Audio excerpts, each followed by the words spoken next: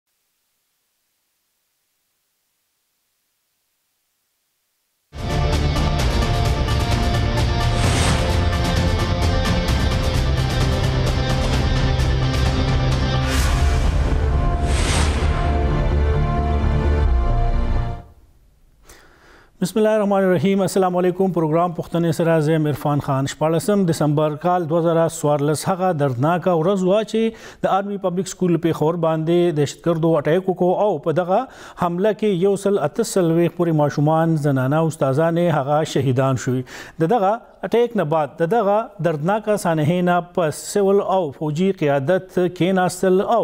دغه شدت پسندو خلاف کاروایی لپاره یو شل نکاتي قامي اکشن پلان جوړ کو په دغه شل نکاتي قامي اکشن پلان کې ډېر زیاتې خبرې دا شوي چې هغه کې ټول متفق شو چې د دغه شدت پسندۍ خلاف چې کوم جنگ شروع شوی دی کومې کاروایي نه کیږي دا غینه ودا خطه د غسیمه پاکي په ډورو زیاتو نقطو باندې عمل درآمد ممکن شو خو لا تر پنځو کالو تېرېدو نه بعد اوسه پورې د دغه شل قامي اېکشن پلان یو څو نکتو باندې اوس هم هغه شانتې عملدرآمد نه دی شوی کوم چې سول او فوجي قیادت په هغې باندې اتفاق رای په دغه پېښور کې کړی وه دغه نکتو باندې اوس هم په ډېرو هغه باندې عمل روان دی خو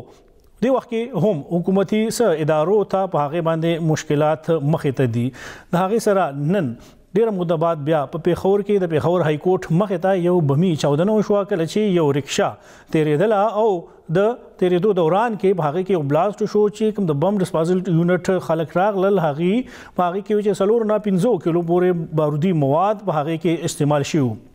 دغه درناکه واقعا ډیره موده بعد پیښور کې بیا مخې ته راغله او د پیښور های کورټ مخې ته دغه پیښه مخې ته راغلی دا چې پکې یو لس تنان زخمیان دي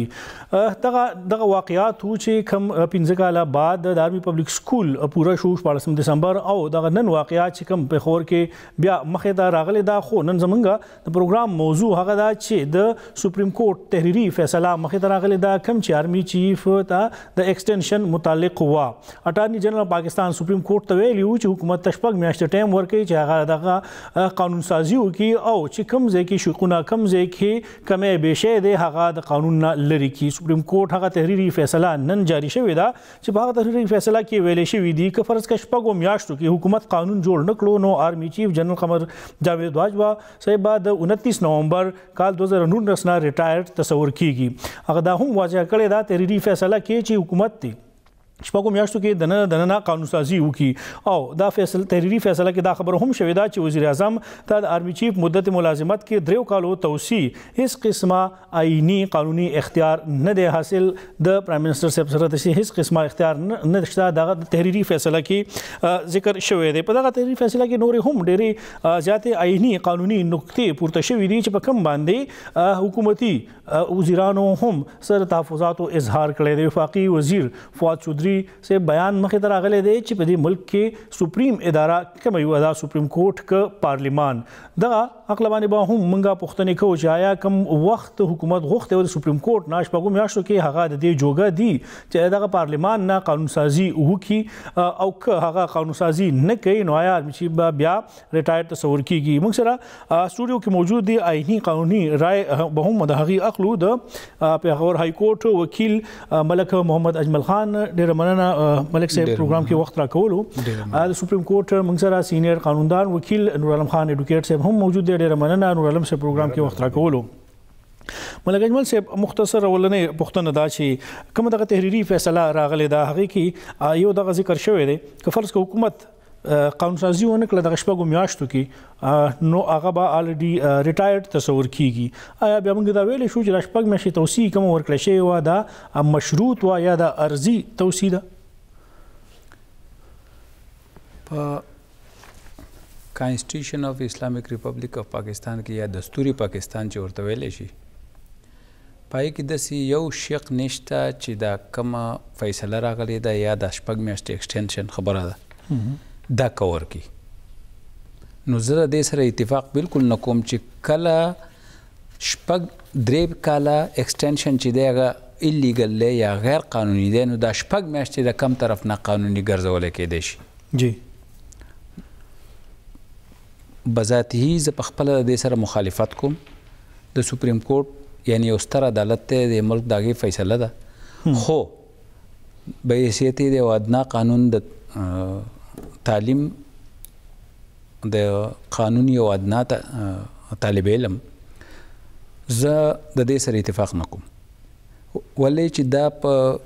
43 46 پیجز مشتمله فیصله ده خو په کانسټیوشن کې په آرټیکل ایټ کې وایي چې یاره دعدالتونو دا کار دی چې که څه داسې قانون جوړیږي پارلیمان یې جوړوي ولې چې قانون سازي د هغوی کار دی نو هغه که غیر قانوني او د آئین سره متصادمي نو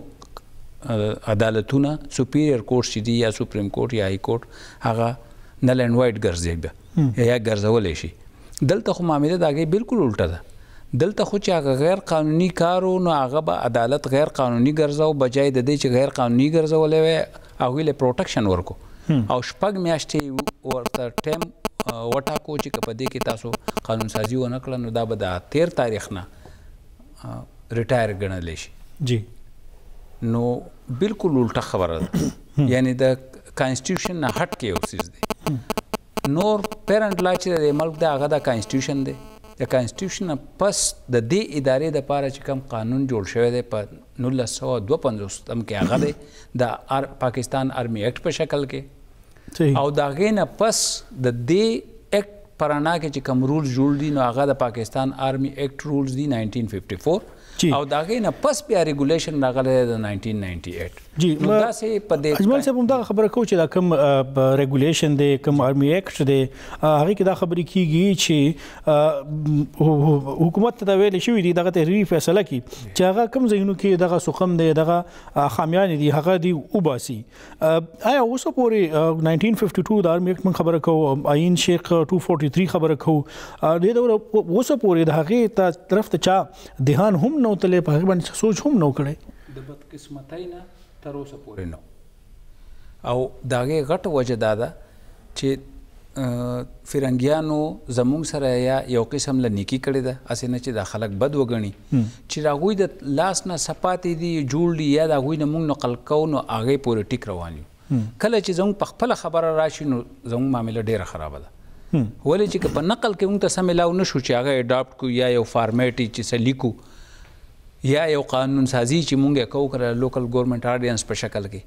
نو هغه د خامیانو نه ډک وي او د هغې وخت په وخت هله پته لګی چی کله د هغې سره سړی مخ شي چی نه یې مخ شوی خو دا پته نه لګیدای شي چی یاره په دې کی سقم شته که نشته یا غلطی شته که نشته یا فلا شته ګری ایریا د دې شته هغه هله پته ولګی چی کله د هغې د امپلیمنټیشن وخت راشي خو هغوی د هغوی معامله د فرنګیانو زموږ نه بالکل الټه وه، هغوی خو به د معاشرې ضروریاتو ته وکتل او د هغې لپاره به بیا کېناستل او د هغوی د ضروریاتو مطابق په هغوی قانونسازي کوله، نو د هغې کې به داسې ګنجایش ډېر کم و او مین میډ لا ده خامخا پکې کېږي، خو که و به، اول خو به و نه، خو که و به نو هغه به په دې وجې نه لرې کړای شو. دلته خو زموږ معامله بالکل الټه ده، کله تاسو هم دا کېس وګورئ چې یاره کانسټیټیوشن چې 243 تاسو خبره کوئ جی بیا د دې سره اوت ته اوت اف د آرمی چیف جی بیا دغه شان د دې سره اوت ته د چیف جسټس سره ریلیټډ چې هغه کم اوت علي آیا دا در دې د دې اوت سره متصادم نه ده دا فیصله صحیح اجمل صاحب په دې باندې نور هم تفصیلی خبره کوو دا شیخ چې تاسو کوم خبره کوي آئینی تاسو کوم وضاحت کوي وړه شاند ماخلو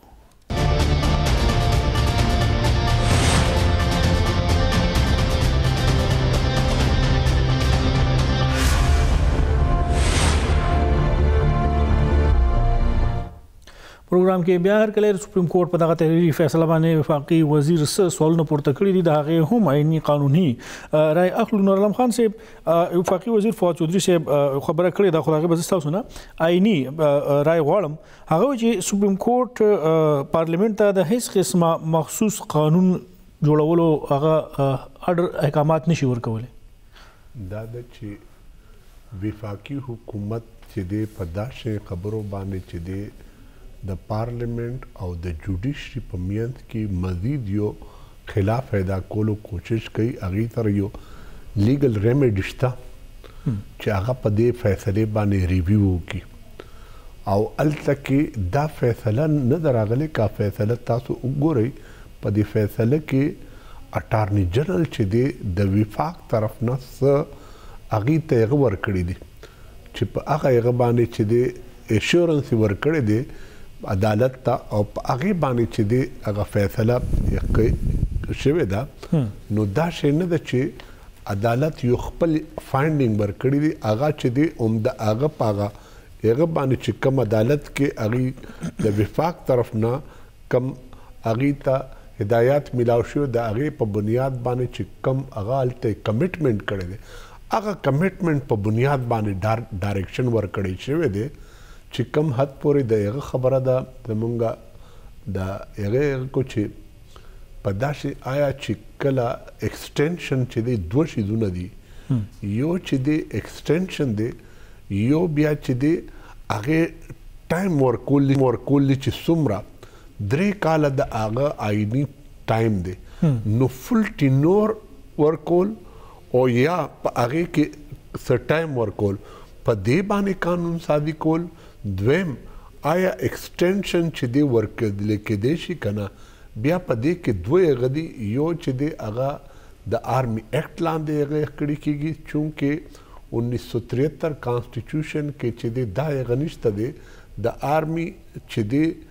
څنګه چه مخکې زمونږ فاټا چه وه کنه هغه کې به چه دې عدالتونو هغه نه کولو څه دا اختیار نو وکسین اختیار نو دا شي چې دی دی ته هم دا پروټیکشن ملاو شوی چې دی چې دننه کمیغه کوي نو هغه کې او تیغه نشته خود دی نور چې اپاینټمنټ څنګه کیږي، څنګه به یې ډیل کوي، هغه اختیار چې دی وفاقي حکومت سره دی او دا د وفاقي حکومت انډر یو اداره ده، خو دلته کې په ملک کې پریکټیکلي دا کتل کیږي چې دی چې دی ځان د آئین نه مبرأ شمري نو په دې وجه باندې چې کله هغه ټیک اپ شو نو دا د فنډمنټل رایټ وایلیشن او یو پبلک امپارټنټ میټر یې وشمارلو نو هغه ته یې وویل چې تاسو چې دی په اګست کې لا سړی د ریټایرمنټ یې هغه نه وه شوی او تاسو چې دی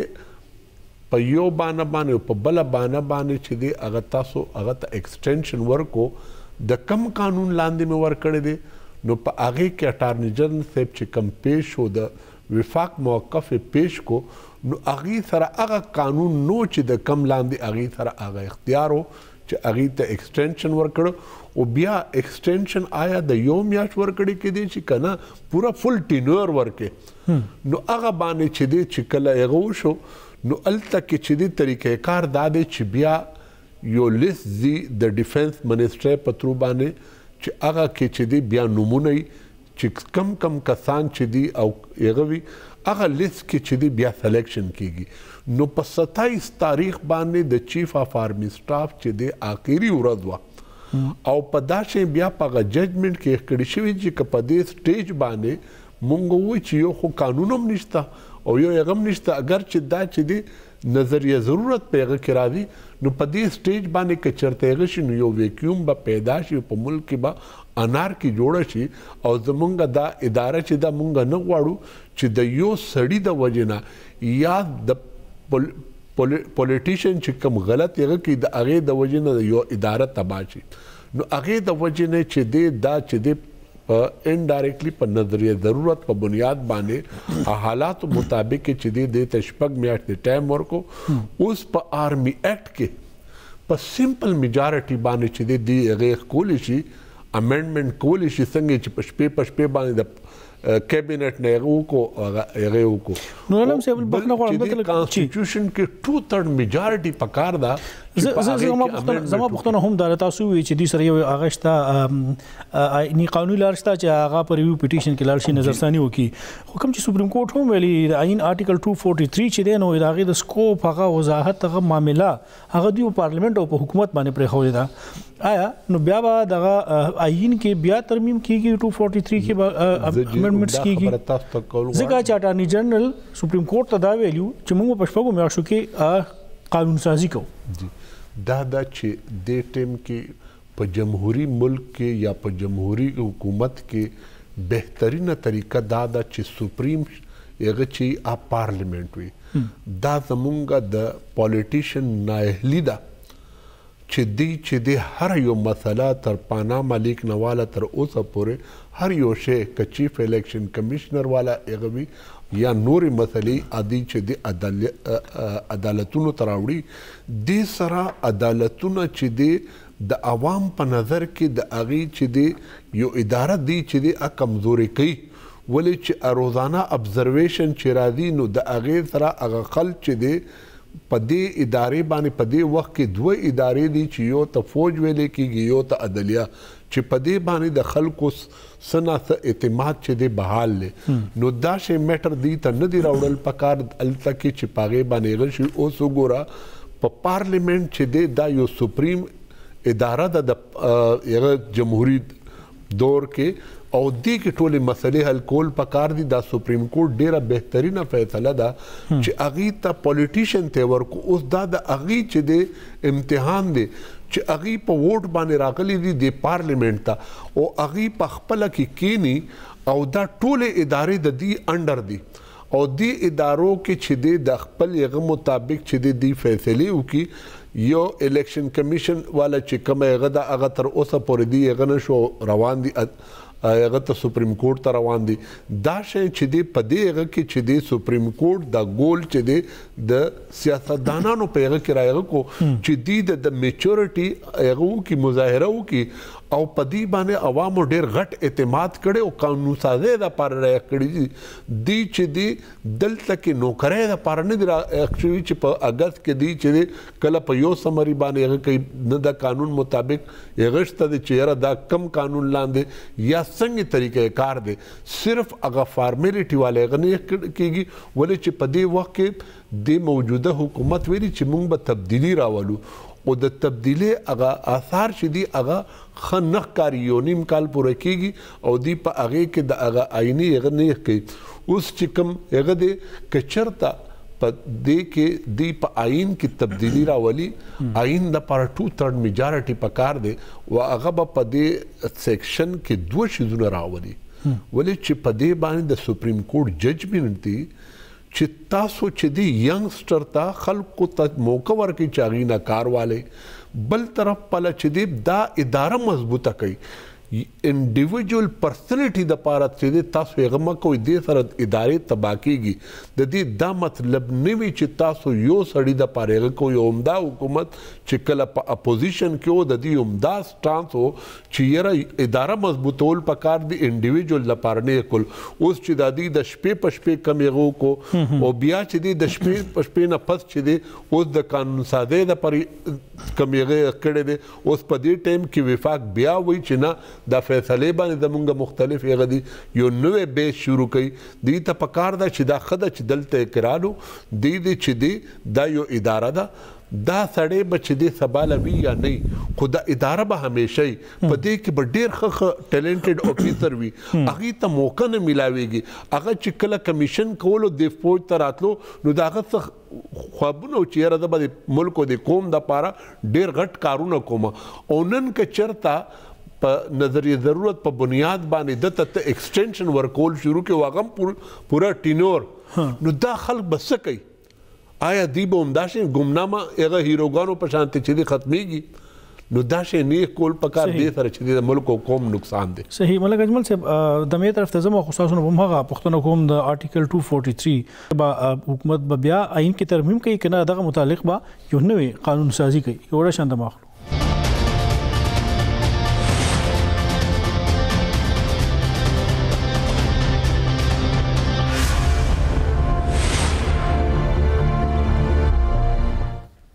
پروګرام کې بیا هر کله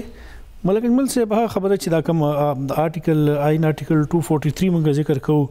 آیا د کې به ترمیم کیږي اضافه به کیږي کنه اټارنی جنرال چې کوم خبره سپریم کورټ ته کړې و چې شپږ میاشتې کې موږ قانون سازي کوو د دې ایکسټنشن حواله سره دا خو جی په دوده که 243 کې کوي نو دا څه د قران ټکی نه دی جی خو چې څنګه په کانسټیټیوشن کې نور کله امندمنټ شوی دی داسې هغه طریقې باندې به امندمنټ کوي جمهوری طریقه باندې چې رقم باندې چې او د هغې نه پس کدو په ایکټ کې کوي او بیا رولز کې کوي نو دا کیدای شي څه نا ممکنه نه ده خو دا بلکل ټیک خبره نه ده او قانوني نه ده چې دا څه وشو یا روان دي او په دې کې زه د خپل مشر سره اتفاق بلکل نه کوم ولې چې فرام د ډی فرسټ زما دا سټانس دی او اوس مې هم دی چې آیا په دې ملک کې به د راتلونکي لپاره هم داسې فیصلې کېږي چې یو دوه کاله پس په یو کار کول یې او د هغې لپاره به نن نه فیصله کوي او هغوی چې قانون به بیا جوړ کوي نو هغه قانون به بیا جوړېږي نو دا فیصله به ویلټ کېږي یعنې قانون په فیلډ کې شته نه او فیصله د هغې لاندې راله او مشروط ده چې که دا هم وکړه نو ښه به یې که دا هم ونه کړه نو داسې به یې زه وایم فی الحال یا کیدای شي زما د ناقص علم مطابق زه ته خبر نه خو ایټ پریزنټ دیر از نو پروویژن اف لا وچ کور د پریزنټ سچویشن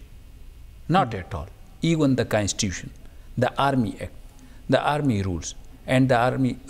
پاکستان آرمی ایکټ رولز ریګولیشن 1998 نو قانوني طور داسې څه نشته. ها آرټیکل ایټ شته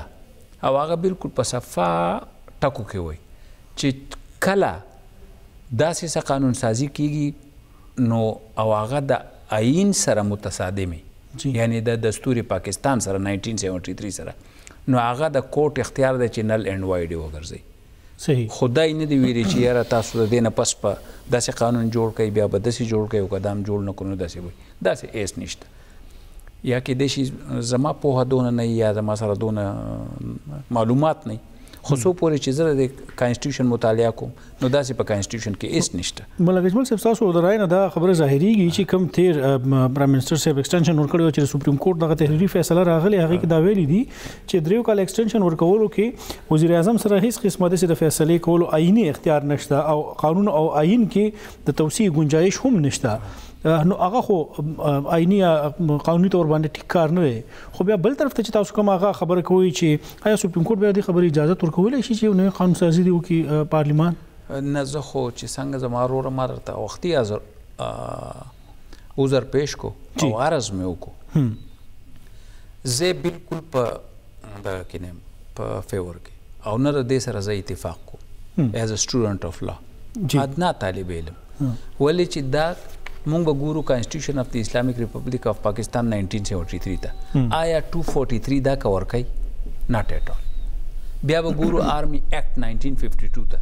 آیا پای کې د دې په باره کې سو یا د ایکسټنشن یا که تیر حکومت کړي یا که دا وس کوي یا که د وس نو غوښتو د درې کال د پاره نو دا د دې ته وای وای د بنشو یعنی رانګ فرام د ویری بیگنینګ یعنی د دې بنیاد غلط دی کدا او کاغه دی او کداګې نه مخ کړي دا قانوني نه دي شوی زه بیا ارست کوم او نه د دې د پاره څه قانوني کور شته دا وس چې سووي په 43 پیجز ججمنټ کې ولې چې پای کې دغه وای چې کدا تاسو ونه کو نو دا به د هغه نس شماريږي او دا غیر تاسو کدرې کاله ایکستنشن غواړئ نو دا غیر قانوني دی چې بالکل زما عرض دا دی چې کله دا درې کاله ایکستنشن غیر قانوني دی نو دا یو ورځ ایکستنشن قانوني دی نور عالم صاحب چې کوم د آرټیکل 243 خبره کوو نو د مطلب دا دی چې هلته یو خلا یو سقم موجود دی آیا هغه بیا ټوله قصوروار منګه دغه سیاستدانان دغه اسمبلی کې ناس خلک غنلې شو چې چاته هم د عینومره پته نشته او هغه سیس اوسه پورې واضح نه دی دا د چې آئین چې دی اومدې پارلیمنت جوړ کړي دی او د هغه کریډټ چې دی اومدې پالیټیشن ته دی خو دی چې دی دا شینکارو کو چې حالات او واقعا دا شی راله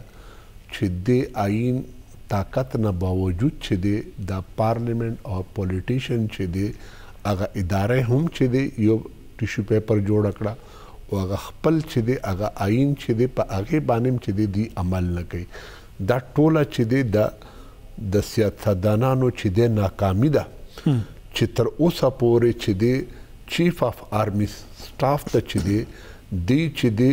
یو پولیټیکل رشوت په تور باندی ایکسټینشن ورکړی دی همیشه نی په آئین کی څه هغه شته نه په آرمی ایکټ کی څه شته دا په دی فیصله کی لیکلی شوی دی چی دا شی یو شی هم نشته دویم شی هغوی دا ورکړی دی چی یو وی ایکسټینشن ایکسټینشن چی دی د ټینیور برابر نشی ورکولی. دا خو ته بل ټینور ورکې کنه یعنی دا درې کاله هغه چې د ټینور ده ده په دې ټینور په هغه چې ایکسټینشن وی کنه هغه د دې ټینور په هاف باندې یا د هاف نه کم خو ورکول شي چې دا نور کم دوینو کې کړي کیږي خو ته د فل ټینور هغه چې دې نشي ورکول او دا په موجوده حالاتو کې په يو ځای کې نو چې څومره مخکې يې کړي شوي دي پرايم منسټرانو چې دې دا ورکړي دي نو هغوی صرف چې دې د هغه کم کمټمنټ چې هغوی کړي ولې چې زمونږ سياستدانان دا هغه کوي چې کله دی په اقتدار کې نو چې دا جمهوريت دی او چې کله د اقتدار نه اخوا شي نو دی بیا وي چې دا چې دی هغه جمهوريت نه دی او دا چې دی د پارليمنټ بالادستي ختمه شوه دې ټيم کې په دې فيصله کې دا يغو طيح کړي دي چې تاسو چې دې خپل ځان هم مضبوط کړئ او په دې آئين په ذريعه باندې د پارليمنټ اطاقت چې دې دې ادارو ته وښائ چې تاسو چې دې هلته کې به پې باقاعده ډيبيټ وشي هغه به وشي کم از کم څوک نه څوک خو به با ضميره تلي وي چې دا خبره اوچته کړي نورعالم صاحب يو آئيني آئيني نکته ذهن کې سوال راځي چې فرض کړه دغه شپږ میاشتې پوره شي کوم چې دغه تحریری فیصله هم راغلی دا حکومت قانون جوړ نکو نو هغه کې دغه تحریری فیصله کې دا وایي چې حکومت قانون جوړ نکو نو شپږ میاشتې بعد با آرمی چیف جنرال قمر جاوید باجوه صاحب ریټایرډ وي او دا هغه بیک ډیټ نه کیږي آیا بیا چې شپږ میاشتې بعد هغه ریټایر تصور کیږي نو سپریم کورټ دا فیصله چې کوم نه تحریر راغلی د تمنګ آئینی ویلې شو غیر آئینی ویلې شو او په هغه ټایم کې دا شی چې دی ستاسو زمونږ په جوډیشل هیسټري کې ډیرې فیصلې چې دی پرتې دي که تاسو چرته وګورئ په یو وخت کې چې دی کرایسیز راغلی و او په هغې کې چې دی یو چیف جسټس صاحب یې چې دی معزوله کړی و او بیا عبدالحمید ډوګر صاحب چې دی هغه چیف جسټس جوړ شوی و بیا چې د فل کورټ ججمنټ رالو نو هغه چه دی ا د هغه وخت نه چه کم وخت نه دی چیف جسټس جوړ شوی د هغه وخت نه د هغه هر څه ختم کړ او هغه چه کم کار شوی یا چا چیف جسټس جوړ کړ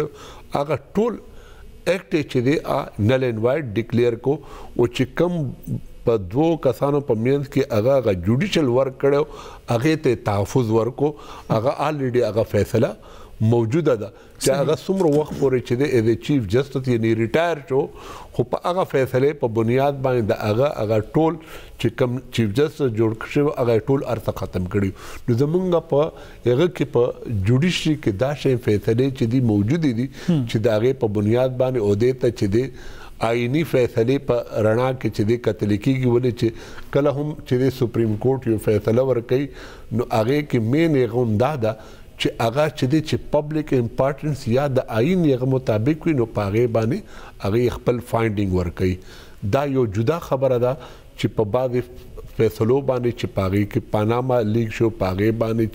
چې کم یې غره راځي د تاریخ برادي یا د دین مخ کې چې دی د یو پرایم منسٹر په یغه کې چې دی چې کم فیصله شوه په هغې باندې به کم یې غره دي یا په هغې کې چې صادق او امین په یو فیصله کې کړې شوې دي دا ټولې سیاسي فیصلې دي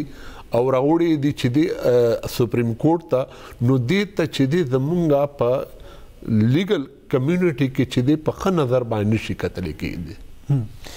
ملک اجمل صاحب دغه کوم خبره چې راځي اوس چې آرمي اکټ آرمي ریګولیشنز او پاغه باندې ډیر زیات سوالونه پورته شوي دغه فیصله کې تاسو هغه خبر هم وکړه چې عین آرټیکل 8 یو هغه کې څه د قانون سازي کیږي چې هغه دغه نه متصادم نو هغه سره اختیار شته چې هغه نل اینډ وایډ ډیکلیئر کی په خو په دې کې ډیر زیات سيزونه دي چې دا کومه تاسو ذکر هم وکړو د آرمي ریګولیشنز هغه کوم دا خبرې لیکل شوې دي چې هغه خفیا هغه ساتي عام شخص لا پریس لا هغه نشي ورکولای او دغه فیصله کې دا خبره هم لیکلې ده چې کوم ځای کې معلومات راځي په هغه باندې بحث کیږي عوامو ته معلومات ورسایي نو دغه سيزونو فیصله دغه سيزونو د کوم ځای کې چې کمې به شي دي د دې حل بر اوسي تاسو نو غواړئ چې اوسه پورې دا سيزونه چا هم مخې ته نو راولي نه چا د سيزونو ته دومره اهمیت ورکړو او په دې وخت کې بیا د ټولو نه پاکستان کې موږ وګورو تاسو فرد واحد د یو ادارې خبره کو نو ټول لپاره مهم خبر هم دغه یو آرټیکل دی راغی نه موږ تاوی ګور تاوی ډیر خبرم په ګل بدله زمونږ د ټولو بدقسمتي ده چې دا هم داسې ده تاسو چې وایي خو زه ورسره سه اډ کوم یا ورسره شاملوم یقین وکئ زمونږ د پیښور های کورټ بار په لایبرری کې ډیر زوړ یو کتاب پروت و چې مینول اف ملیټری لاز یې ورته وی یو کتاب په ثابته لایبرری کې هغه پروونشل پرنسپلز کورټ ته دی ټولې صوبې لپاره پای کې یو او د هغې هم هله پته ولګېده چې کله آرمي اکټ کې امنډمنټ وشو او دا یې سیویلینز ته ایکسټینډ کو او د هغوی ټرایلز یې د ملیټري کورټ کې شروع شو نو دا کتابونه اغیستل شروع شو او بازار ته راغله او خلک ترې خبر شو نور دا خو داسې وو چې هغه مقدس ګای آرمي اکټ چا په سترګو نه و لیدلی چې په دې کې څه لیکلی شوي دي ولې چې دا کم خلک یې دي د چا د پاره چې جوړ دی نو دا مقدس دي نو دغه شانې دا کتاب مقدس دی دغه شانې دا رولز مقدس دي او دغه شانې دا ریګولیشنز دي دا خو وس خلکو ته معلوماتو شو چې رااله مارکیټ او خلکو وکتل چې آیا په دې کې د دوه خلاف څه کېدای شي او بلکې ما خو څو څو ځله په څو موقعو دا ویلي دي چې کم ملګري دي یا په دای کې نوکري کوي ما چې کله هم د آرمي یو نوکر ته یا افسر ته د دې اکټ پته ولګي یا یې هغه پړاو کړي نو زه وایم چې هغه به په هغه ورځ خپله نوکري پرېږدي ولې چې دا څونه سخت دی او خلک وایي چې آرمي والا سخت دي د هغې غټه وجه دا ده چې د آرمي اکټ سخت دی او د هغې د سختۍ انحصار یا د هغې دا سختي چې ده نو دا د هغې خلکو د پاره ده څوک چې په آرمي کې دي نه د هغې خلکو د پاره چې یا زه یم یا تاسو یې نه دا د هغې د پاره دي چې کله څنګه چې سیکشن 51 وایي د آرمي اکټ جی چې دا به یو عام کس فرض کا کدای ونیسي ارست کی نو داګه سره بد د رویه څنګه داګه ټیم بسونه او په څونه ټایم کې به یې دننه دننه د دې آرمي اکټ لاندې او د کانسټیټوشن لاندې مجسټریټ ته پیش کوي نو آیا دا په دې کم کنویکشنز چې شوي دي د آرمي ملیټري کورټ لاندې آیا په دې کې دا شوي دي یعنی کیسونه رااله سپریم های کورټ ته های کورټ په ججمنټ ورکړه او 74 کسان یې تقریبا اکویټ کړه وجه دا و چې یو سړی د کراچۍ نه چوت شوی دی او تعلق یې د کبل سره دی او جوډیشل مجسټریټ ته د کنفیشنل سټیټمنټ د پاره په شانګله کې پیش شوی دی نو چې کله پورې د رول اف لا نه کدا دا ملک ته کدا بل ملکی کدا دا صوبه ده هر څوک چې په ګورنمنت کې دا زه نه ویم کدا شخصي حکومتي کدا بادشاهي حکومتي کدا جمهوري حکومت وي که دا پرزیډنشل فارم اف ګورنمنټ وي چې رول اف لای نو معاشره به ترقي کوي او قوم به مخکې صحیح او که دا نه نو دا څنګه چې حالات خراب دي نو دقه شان به خرابېږي هېڅ نشي کېدی او دا به صرف ځان خوشحالولي چې زه وایم چې یاره عرفانه وروره سبانۍ ورځ ډېره ښه را روانه ده او موږ به په دې کې ترقي وکړو دا چل به وکړو نه نه نه تکې دی نشي صحیح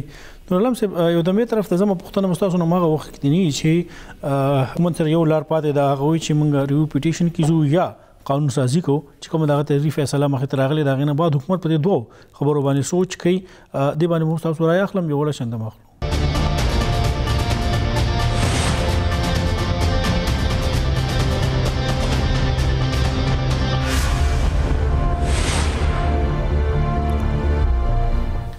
پروګرام کې بیا هر کله نورلم صاحب حکومت سره په دغه دوه خبرو باندې په دغه دوه اپشن باندې غور کوي چې خو باغه نظر ثاني درخواست دایر کوي یا به قانون سازي کوي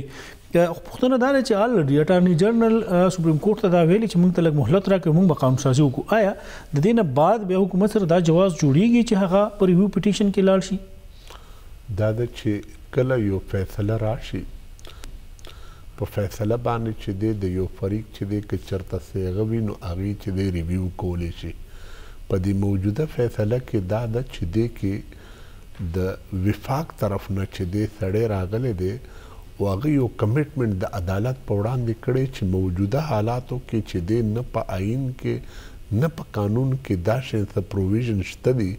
چې هغې نه په بنیاد باندې دې چیف آف آرمي سټاف ته ایکسټینشن ورکړې شي یو او بيا چې دې په ايکسټينشن کېم درې کاله ايکسټينشن ورکړي په دې دوه شيزونو باندې چې دې چرته هم څه نشته دې هغه مختلف ټايم کې چې دې داغه نه تپوس وکړو هغه وکړو او هغه وفاقي حکومت چې کوم هغه ورکړو د هغه په بنياد باندې دا د هغه طرف نه دا یو هغه رالو چې تاسو مونږ ته ټايم راکړئ په دې ټايم کې با چې دا کم ګیپ دی دا کم ویکیوم دی او دا کم یغه نه چی دی دا اداره به متاثره کیږی سباله هغه شی کنټرول کولو دا پاره چی قانون سازی وشی او په هغه قانون سازی کی چی نمبر ون چی آیا ایکسټینشن چی دی ورکول پکار دی او که ورکول پکار دی هغه کم وجوهات به په کومو حالاتو کې به یې؟ آیا دا خو به نه وي چې یو سړی په اقتدار کې څوک راولي او هغه صرف هغه چې دی په هغه سیاسي رشوت په طور باندې هغه ته درې کاله ورکوي؟ نمبر دو، که چېرته اکسټنشن ورکوي، دا به اکسټنشن به چې دی په کوم بنیاد باندې او څومره به وله ورکوي؟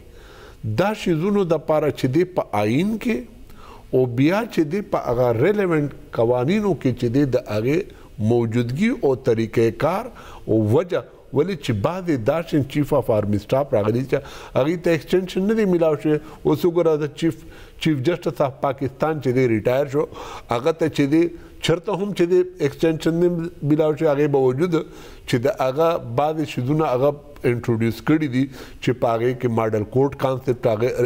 انټروډیوس کړی و ای هغه کوټ انټروډیوس کړی و چې په کوټ ون کې به د کیس او رجسټار ته به دی ویل ته په پیښور نه هم پیش کې دی شوې بیا چې دی هغه چې دی په دی بای ته باندې چې دی چې کم ججمنټ ورکړو یا چې دی کم پالیسی سټیټمنټ ورکړو په بعضې شیزونو باندې چې دی په عوام کې هغه ته په ښه هغه باندې کتلې کیږي په کار دا دی چې په دې هغه باندې چې دی هغه ته هم ایکسټینشن میلاو شوی وي او که چرته په یو ځای کې چې دی ته ایکسټینشن ججمنټ راغلی دی چې یاره تاسو به چې دی د ایکسټینشن نه ورکوئ دا چی څومره کسان وو مخکی به دا هغه وو چی کوم ډیپارټمنټ کی به سړی وو چی ریټایر به شو نو هغوی به چیری الیکشن کمیشن ته یا هغه ته ایکسټینشن ورکولو په هغه کی د افتخار چودری په وخت کی هغه رالو چی یاره دا ایکسټینشن ندی ورکول پکار نن چی دی حکومت او کوم حکومت جمهوری حکومت چی د عوام په وټونو باندی راغلی او دا یقین لری چی زه چی راغلی یم د عوام په ووټ باندی راغلی یم دی پارلیمنټ ته هغه چی دی د شپی په شپی قانون سازی چا د پاره کوي یو واحد شخصیت د پاره کوي چی د هغه احسان چی دی بدل چی دی ورکولو د پاره چی دی دی قانون سازی کوي نو دا چی دی دی په دی وخت کی په دی باندی ریویو کولی نشی حق یې شته خو ریویو به په هغه وخت کې کېدی که چې چېرته د دې طرف نه کمټمنټ نه وی شوی دلته کې خو هغه چې دی ټایم اخیستی دی وفاق چې دی ټایم اخیستی دی چې مونږ ته ټایم راکړئ چې دا کم کوېسچنې تاسو اوچتې کړې چې د دې مطابق مونږ هغه ورکړو که سبا له ضرورت پېښېدو نو چې مونږ چې دې دا شیزونه چې دې اخ کړی وي نورم صاحب وخت هم را سره کم دی اخري پښتنه مختصر مختصر جواب بغواړم ملک اجمل صاحب 16 دسمبر کال 2014 عربي پبلک سکول سانحه مخې ته راغله قومي اکشن پلان جوړ شو شپکه ډیر زیات په هغه کې د ریفارمز خبرې کې دی یو نقطه پکې دا هم و چې عدالتي اصلاحات یا جوډیشل ریفارمز به هم منګراولو تاسو نه جری 15 کالو کې په عدالتونو کې عدالتي نظام کې څه اصلاحات راغلي دي؟ کافي حده پورې ولې چې څوک سټیک هولډرز دي او یا چې څوک وکلا دي یا ایز ا پریزایډینګ افیسرز کار کوي جی نو هغه ته د دې معلومات شته چې څه شوی دي کنه کله څنګه چې مونږ رالو په وکالت کې اول چې هغه ورځو ته زه وګورم او اوس دا دویشت کاله پس دې ورځو ته وګورم نو ډېر فرق راغلی دی خو څوک چې د دې سره د چا څه کنسرن نشته یا ترې معلومات نشته یا د اخبار د حده پورې دي یا په دوکان کې ناست څه ګوري نو هغه وایي چې نه داسې څه نه دي شوي خو چې وکلا صاحبان دي یا ججز دي نو هغوی ته دا پته لګي چې یاره په ایون چې پریزایډینګ افیسر دي په هغوی ډېر بوج دی او د هغوی نه داسې بوج په هغوی مخکې چرته نه و چې له هغوی نه به دونه تپوسونه کېده چې یاره دا د میاشتې دونه پروګرس وښکلی دی که نه دی په ویک ون ویک کې تا څه وکړه یا په یوه هفته کې ستا کارګزاري څه ده نو دا کافي حده پورې امپرومنټ شوی دی خو که وایې د دغه ده پورې د سوله دسمبر ده پورې نو زه به بیا عرض وکړم او کېدای شي چې زه بایسټ یم او دا خبره په تاسو ټولو ښه نه لګي خو زه دا عرض کوم چې چرته زه ګورم چی یاره زما آرمی د دنیا د ټولو نه نمبر ون آرمی ده کنه کټګرایزیشن شوی ده چی هغه آرمی ده دا ده دا ده دوی وای چی پاکستان آرمی نو بیا دلته زه ډیر حیران دا یم چی دا د پاکستان نمبر ون آرمی ده نو دا څنګه دا رشکه کی پنځه کیلو بارود چا کیښود او د هایکورټ مخی ته راله او یو درز یی وکړو. صحیح. دا د نه منلو خبره ده یعنی دا به زه داسی وویم چی یاره تاسو زما روره یو نوکر ځان له په کور کی ساتلی دی د هغه ډوډی ورکوی چای ورکوی رعایش ورکوی د جب خرچه ورکوی او تنخواه هم ورکوی او چرته تلی یی او راشی او هغه وایی چی یاره ده کور نه خو غلا شوی ده صحیح. نو که تاسو ډیری برداشت کوی نو وایی به چی یاره دا یو ځل خو غلا وشوه خو په راتلونکی کی خیال ساته او بل ځل بیا هم دغه حال وی نو تاسو وایی چی سبا مختصر راته وایي وخت بالکل ختم دی آیا جوډیشل ریفارم چې موږ ذکر کوو خبرې کوو اصلاحات طرف ته موږ روان یو یا ګامونه غستې شي مختصر راته وایي وخت ختم دی ته چرته د دهشتګردۍ په پوینټ اف ویو سره کې نو په هغه باندې آرمي پبلک سکول والا چې کم هغه شوی اچون کې د آرمي په ډومین کې وا او هغه خلکو خپل ماشومان الته کې خړو چې دی به سباله د ملک او قوم لپاره څه کوي نو هلته کې چې کومه دماکه وشوه او کوم تریجډي وشوه د هغې دپاره چې دی د سویلین اکسیس نشته او که په هغه پوائنټ آف ویو سره ته وې چې آیا د دهشت ګردۍ خلاف کومه کاروائي شوې ده آیا څه اصلاحات راغلي دي نو په دې وخت کې وفاقي حکومت او صوبائی په هغه وخت کې صوبائی حکومت و اوس وفاقي حکومت هم دی دلته یو کمیشن مقرر شوې دی تر اوسه پورې دا دواړه حکومتونه ناکام پاتې شو آرمي ته ډاريک د هغي اکسس نشته نه د عدالت شته دی چې د هغي نه تپوس وکړي او سيويلين چې کومه ډيټا او کومه هغه ده هغه چې دی عدالت ته هغي شير کوي نه تر اوسه پورې هغه کميشن هم څه ونه کړ او په دې لحاظ سره عدالت چې دی يو خپل ډومين کې چليږي دا چې کم هغه ټرين خلک دي او کوم خلک دهشتګردي کوي زمونږ د ملک چې دی د روستو بتیس سال نه چې دی په جنګ کې پاتې شو او دا علاقه چې دا سپیشلی افیکټډ علاقه ده ډیره زیاته مننه بخنه غواړم وخت ختم دی نور علم خان صاحب ډیره زیاته مننه ملک محمد مل صاحب اجازه راکړئ د الله پامان